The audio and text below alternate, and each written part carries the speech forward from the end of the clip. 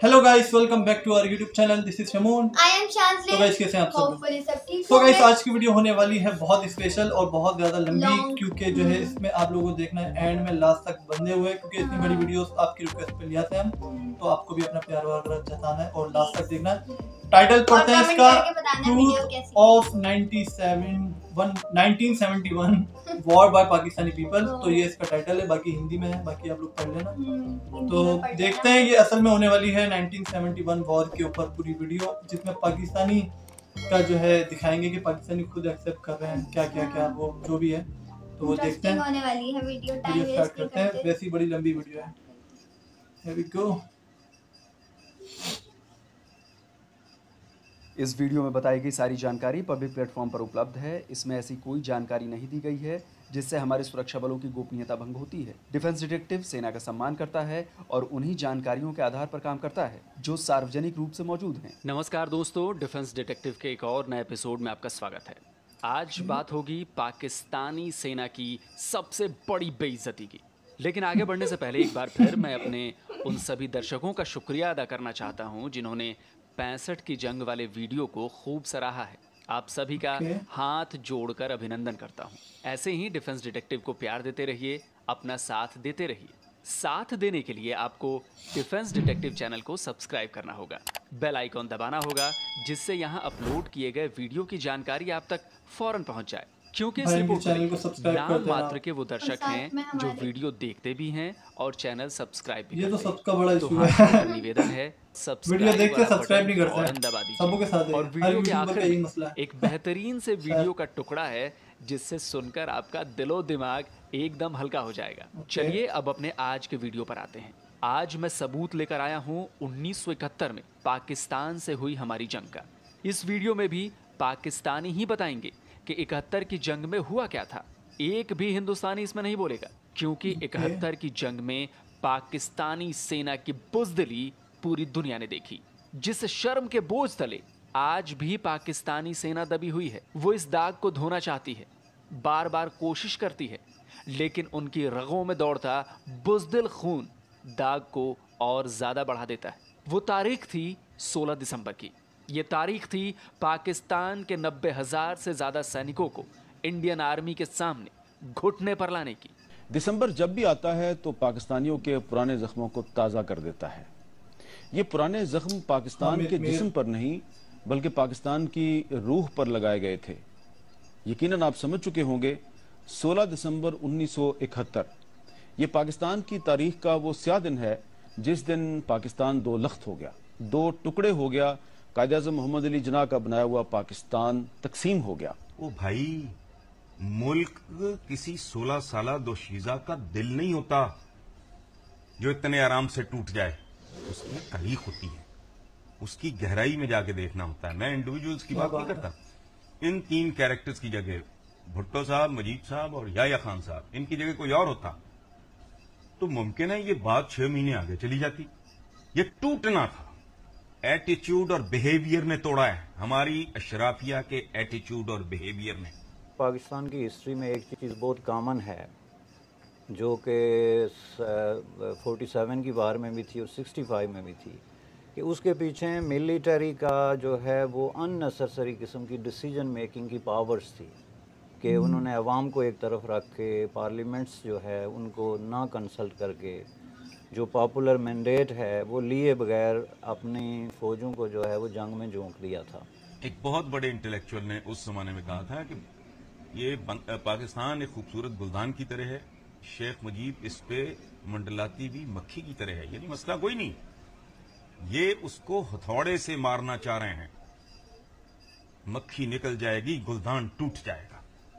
अपने रवैये, अपने एटीट्यूड मशरकी पाकिस्तान को बांग्लादेश बनाने में हमारी रूलिंग एलीट के एटीट्यूड और बिहेवियर का उस एरोगेंस का उस बदतमीजी का उस बददिमागी का वो जिम्मेदार है।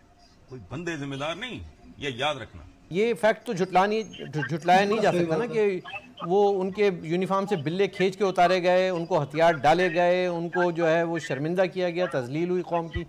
अब जरा आप ही सोचिए जब जब ये तस्वीरें पाकिस्तानी आर्मी के बंदों की आँखों के सामने से गुजरती होंगी तो उसे कितनी शर्म महसूस होती होगी। उसे लगता होगा कि उफ, इसे देखने से बेहतर होता किसी और मुल्क में पैदा हो लेते। कम से कम इस जलालत से तो बच जाते। तो दोस्तों, आज के एपिसोड में मैं ये साबित कर दूँगा कि ऊपर से शेखी बघारने वाली पाकिस्तान की सेना अंदर से कितनी डरपोक है, कितनी नाकाबिल है। उनके खुफिया एजेंसी आई, जिसकी शान में पाकिस्तान के लोग कसीदे पढ़ते हैं उसकी असल औकात क्या है?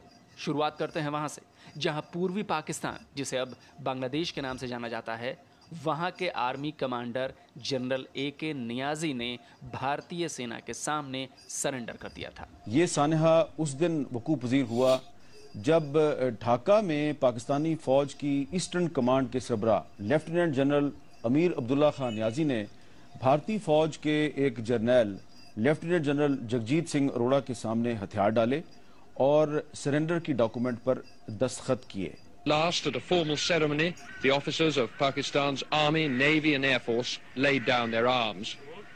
It was a somewhat theatrical event. General Gunda of Nagra assured the officers that they would be treated with the utmost correctness according to the Geneva Convention. Provide all protection and safety. No measures of reprisals would be taken. Free boarding, messing, medical facilities will be provided to you all and all your ranks. Then, on the command of their own senior officer present, General Mohammed Jamshed, the leaders of Pakistan's defeated army laid their pistols, Sten guns and rifles on the grass in the final token of surrender. Why did you, in the end, surrender?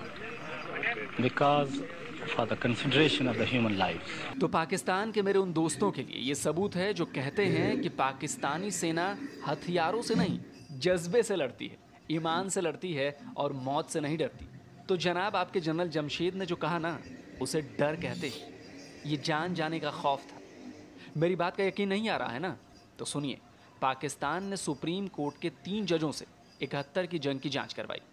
Justice हमदुर Rahman ने अपनी report दी।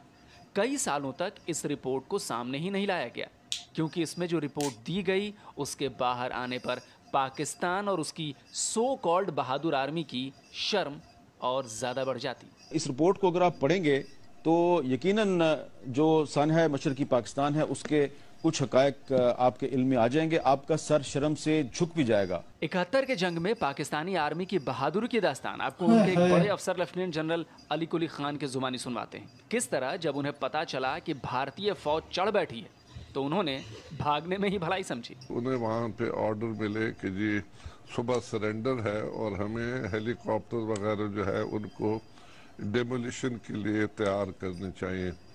तो जितने भी हम वहाँ पे थे, हमने कहा कि नहीं जी, हम तो निकल सकते हैं। और दो तरीके थे, या नेपाल का रास्ता था, या बर्मा की तरफ़। तो हम सबने बर्मा की तरफ़ इख्तियार किया रास्ता।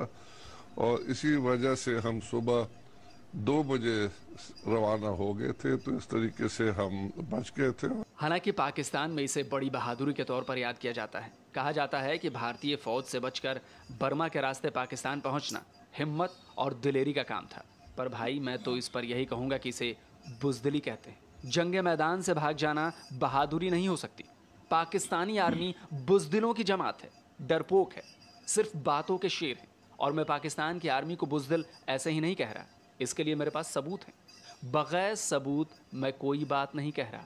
सुनिए। जनरल न्याजी, जो अप्रैल उन्नीस सौ इकहत्तर में जब उनको पोस्ट किया गया ढाका में तो वो बहुत बड़ी बड़ी बातें किया करते थे। लेकिन जैसे ही दिसंबर उन्नीस सौ इकहत्तर में जंग शुरू हुई तो फिर वो कभी रोते थे कभी हिचकियाँ लेके आँसू बहाते थे पता नहीं क्या कुछ करते थे। और ये कोई सुनी सुनाई बात नहीं है। ये क्या बात है? आर्मी के ब्रिगेडियर सादिक सलीक ने इसका ज़िक्र अपनी किताब में किया है। अब ये जनरल न्याजी साहब जो बातें तो बहुत बड़ी बड़ी करते थे लेकिन जब एक्शन का वक्त आया तो रोने लगे। हिचकियाँ ले लेके रोते थे। जी हाँ ये किसने लिखा है?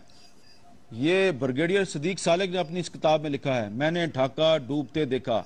ये किताब अंग्रेज़ी में भी मौजूद है विटनेस टू सरेंडर लेकिन इसका उर्दू तर्जमा मेरे पास मौजूद है।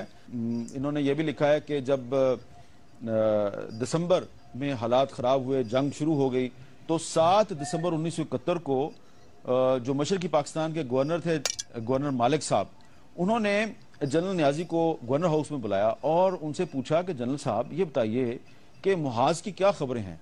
तो इस किताब में ब्रिगेडियर सदीक सालक साहब लिखते हैं कि वहाँ पर मेजर जनरल राव फरमान अली भी मौजूद थे और उनकी मौजूदगी में, उनकी मौजूदगी में जब गवर्नर ने पूछा कि, न्याजी साहब, बताइए मुहाज की क्या खबरें हैं? तो न्याजी साहब रोने लगे।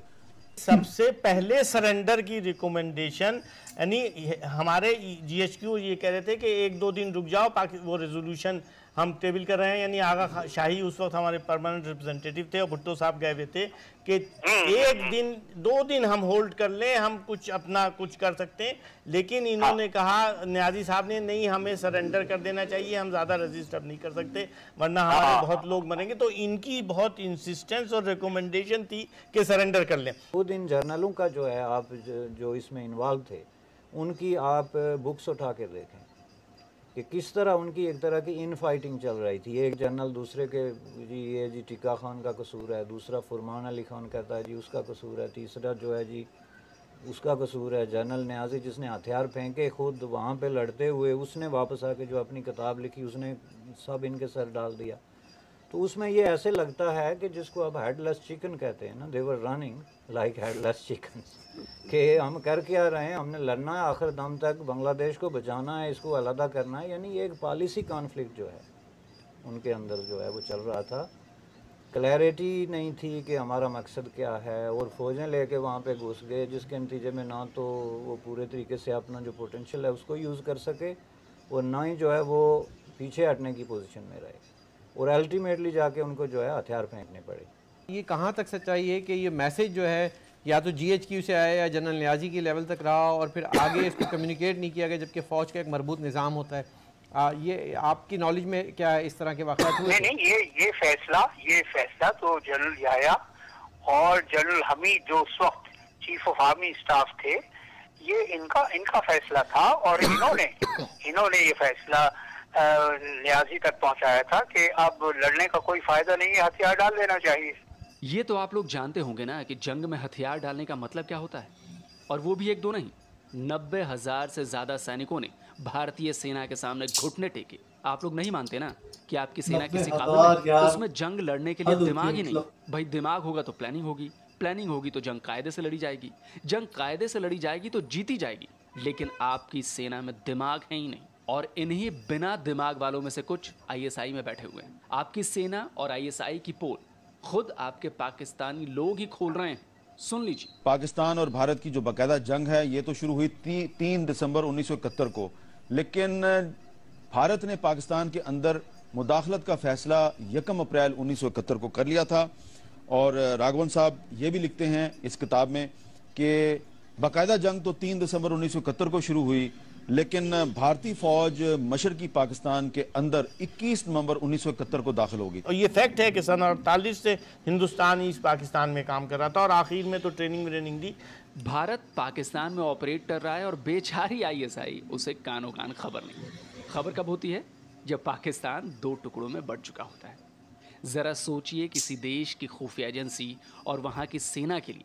इससे बड़ी शर्म की बात और क्या होगी? ये जो थी east Pakistan operation, Pakistan army का या फौज का या जो भी ईस्टर्न कमांड और उसमें जीएचक्यू की भी सब शामिल था that was a biggest disaster हमारी टोटल मिसकंसेप्शन ये हमारी समझ में नहीं आ सकता कि इतनी स्ट्रेटेजिक और इतनी पाकिस्तान की ज़बरदस्त आर्मी और इतनी सब प्लानिंग और सब कुछ कि वो ये समझते रहे आखिर वक्त तक। एक तो ये कि कैलकुलेशन कि इंडिया अटैक नहीं करेगा।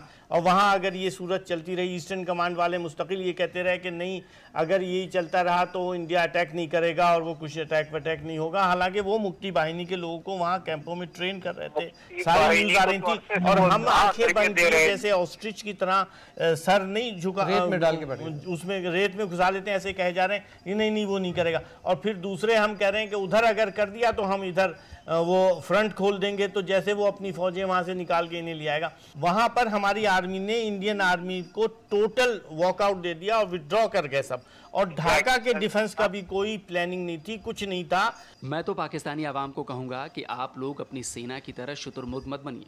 सच को स्वीकार करना सीखिए। जंग किसी काम की नहीं काम गरीबी को मिटाना है। आने वाली नस्लों को अच्छी शिक्षा देनी है और लोगों को दोयम दर्जे का नहीं समझना है। क्योंकि यही काम आपने पूर्वी पाकिस्तान के बंगालियों के साथ किया। आपके मौजूदा प्राइम मिनिस्टर इमरान खान ने उस वक्त क्या कहा था? जरा सुन लीजिए। और हमारे से झूठ बोला गया। प्रोपागेंडा था, एक ही पीटीवी था, एक ही अखबार कंट्रोल थी। हम हम यहाँ लड़ते फिर रहे मैं इंग्लैंड गया। सबसे लड़ा हूँ कि नहीं नहीं, हमने पाकिस्तान ने बिल्कुल ठीक किया। ये हिंदुस्तान की साजिश थी।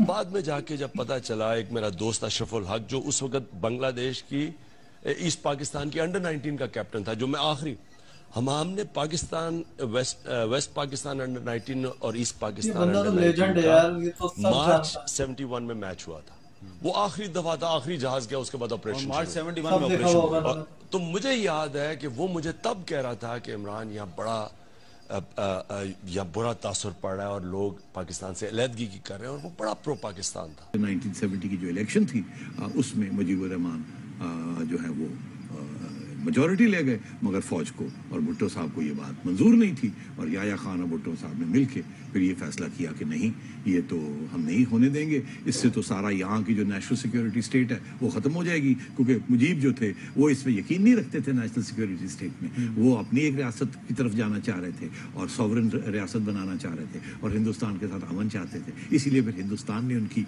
मदद की और हमारे साथ जंग हुई और हम आधा पाकिस्तान हम गवा गए तो ये अयूब खान साहब का डिजास्टर मेरे बाद में दूसरे दिन याया खान को मैंने कहा मैंने कहा जी ढाका फॉल हो गया है। इसका मतलब ये तो नहीं है ना जी कि अब पाकिस्तान लड़ाई खत्म हो गई है। फिर तो ये तो ऑल आउट वार है। Dhaka is a part of my country east Pakistan is half my country you know ये कैसे हो सकता है जी? पता है मुझे क्या जवाब मिला जी? This in support of what you are saying जी। मुझे याया खान? छोड़ो यार ये काले सारे काले बंगालियों की खातिर हम वेस्ट पाकिस्तान को खतरे में डाल दें। जब वहाँ पे जुल्म शुरू हो गया बांग्लादेश में तो वहाँ से लोग जो हैं रिफ्यूजी बन के इंडिया में भागना शुरू हो गए। जैसे आपका अफ़गानिस्तान में हुआ था कि तीस लाख अफगान जो हैं पाकिस्तान में आ गए थे। इससे भी बड़ी तादाद में रेफ्यूजी जाना शुरू हो गए। इंडिया के लिए ये एक बहुत बड़ा चैलेंज था।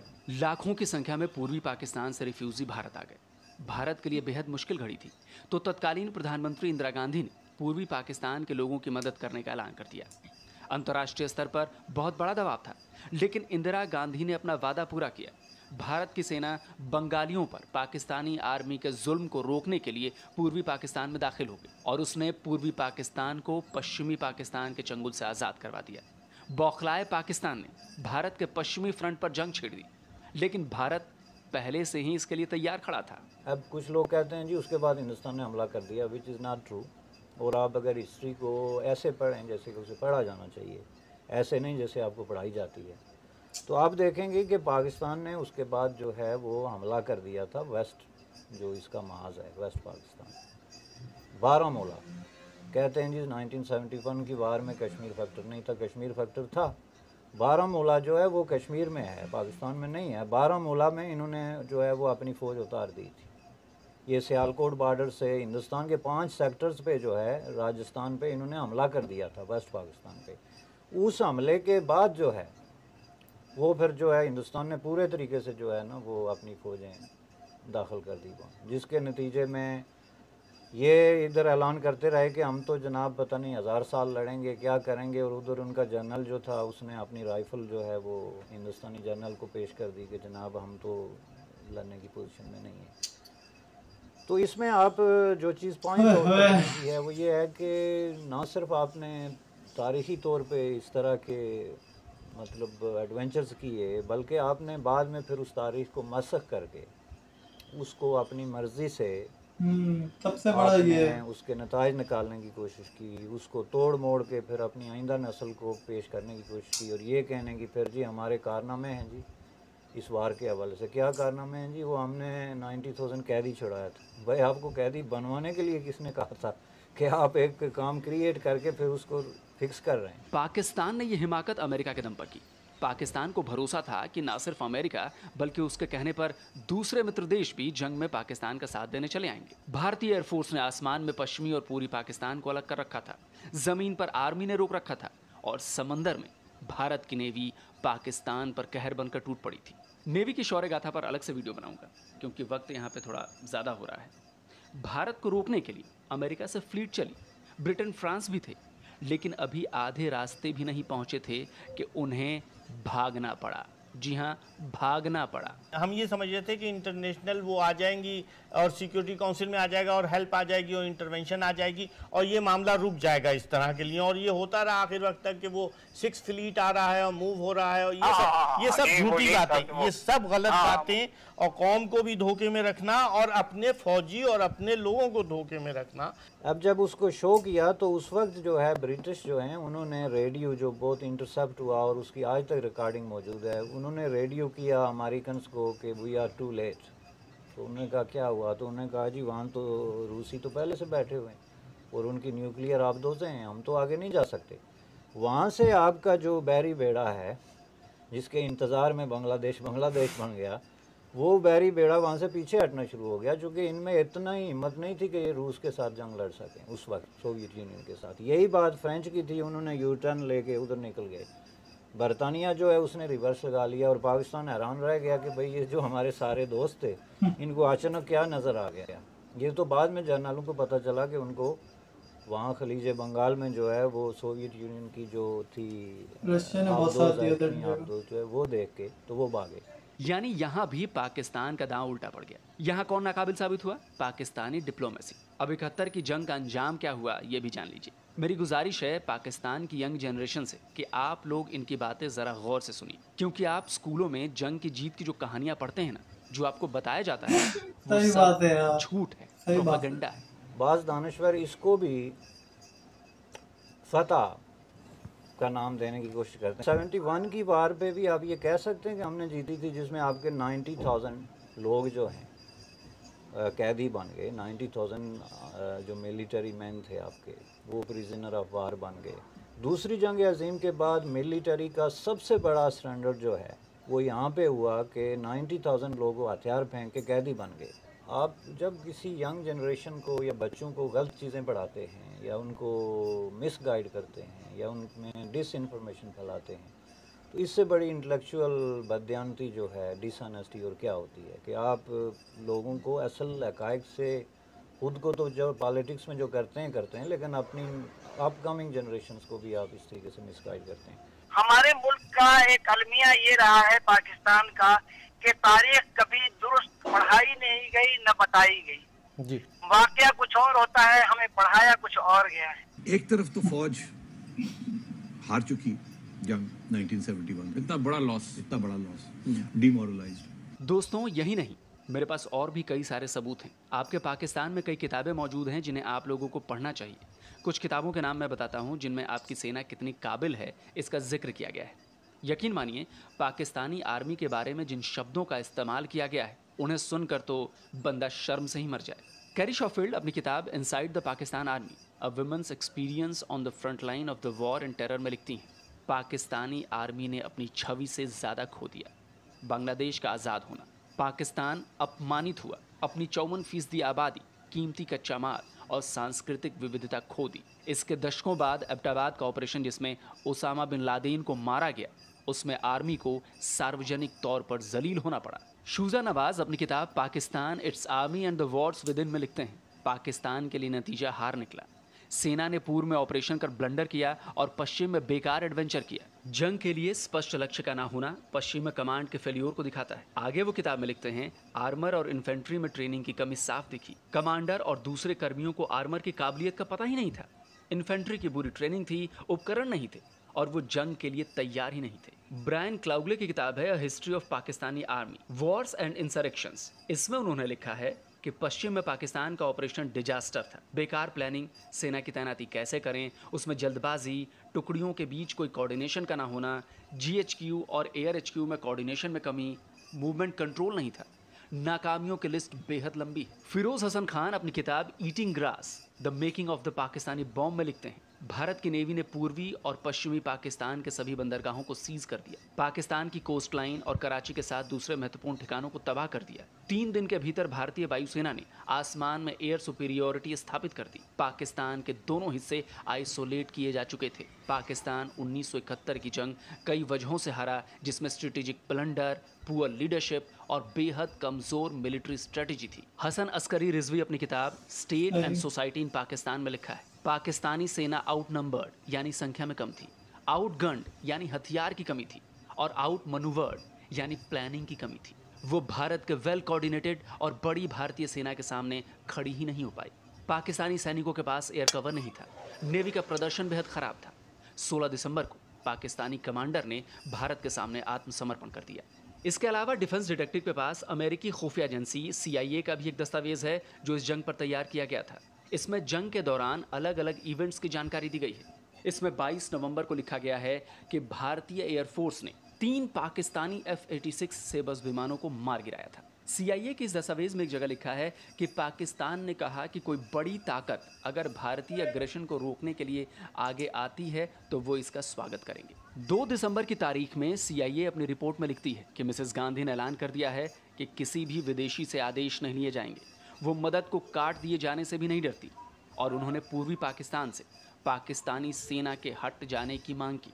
तीन दिसंबर की तारीख में लिखा है कि पाकिस्तान ने पश्चिमी भारत की सीमा पर हमला कर दिया। इसमें यह बताया गया कि पाकिस्तानी सेना छम्ब और खेमकरण तक तो पहुँच गई, लेकिन इंडियन डिफेंस को तोड़ नहीं पाई, उससे आगे नहीं बढ़ पाई। भारतीय वायुसेना ने कराची और दूसरे शहरों पर हमला किया। पाँच दिसंबर को भारतीय नेवी के मिसाइल बोर्ड के द्वारा पाकिस्तानी नेवी के एक डिस्ट्रॉयर को तबाह करने की बात लिखी। 9 दिसंबर को कराची हार्बर पर भारतीय नेवी के हमले की खबर दी गई। 16 दिसंबर को लिखा गया है कि पाकिस्तान ने सरेंडर कर दिया। और 17 दिसंबर को लिखा है सीआईए की इस रिपोर्ट में कि याहिया खान पश्चिम में सीज फायर के लिए तैयार हो गए। तो दोस्तों उम्मीद है आपको इकहत्तर की जंग का सबूतों के साथ बना ये वीडियो पसंद आया होगा। अगर अभी तक आपने डिफेंस डिटेक्टिव को सब्सक्राइब नहीं। किया है तो प्लीज़ सब्सक्राइब कर लें। और चलते चलते आपको दो ऐसे वीडियो के हिस्सों के साथ छोड़े जा रहा हूँ जिससे आपको पता चल जाएगा कि पाकिस्तान की आवाम को कैसे वहाँ की मीडिया और सेना मिलकर मूर्ख बना रहे हैं? जय हिंद।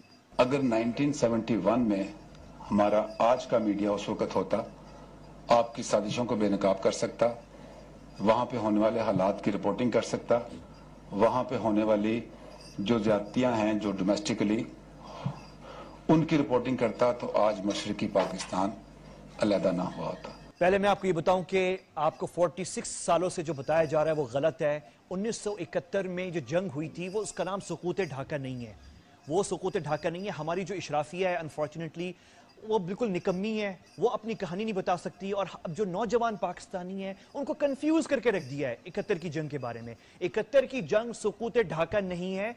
इकहत्तर की जंग जो है, वो इन्वेजन ऑफ़ ईस्ट पाकिस्तान है। ये इन्वेजन था। इंटरनेशनल बॉर्डर पे यक तरफा जंग इंडिया ने आप पे मुसलत की थी। पाकिस्तान की आवाम ने पाकिस्तान के खिलाफ छुटकारा हासिल करने के लिए बगावत नहीं की थी। ये सब झूठ है। ये बिल्कुल गलत है। ये हिस्ट्री इस वक्त सामने आ चुकी है।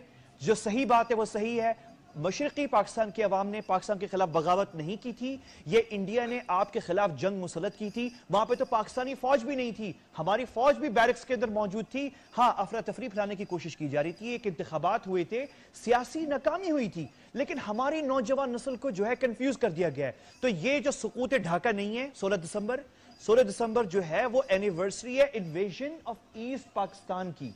ये दुश्मन वो जहनी है वो माइंडसेट है जो इस वक्त नई दिल्ली में बैठा है और हुक्मरानी कर रहा है। ये आपका दुश्मन है।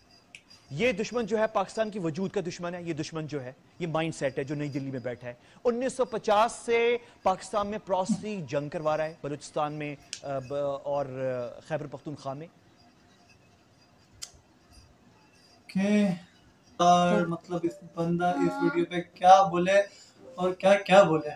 बिल्कुल मतलब मैं तो जो है क्या कहाँ से स्टार्ट करूँ?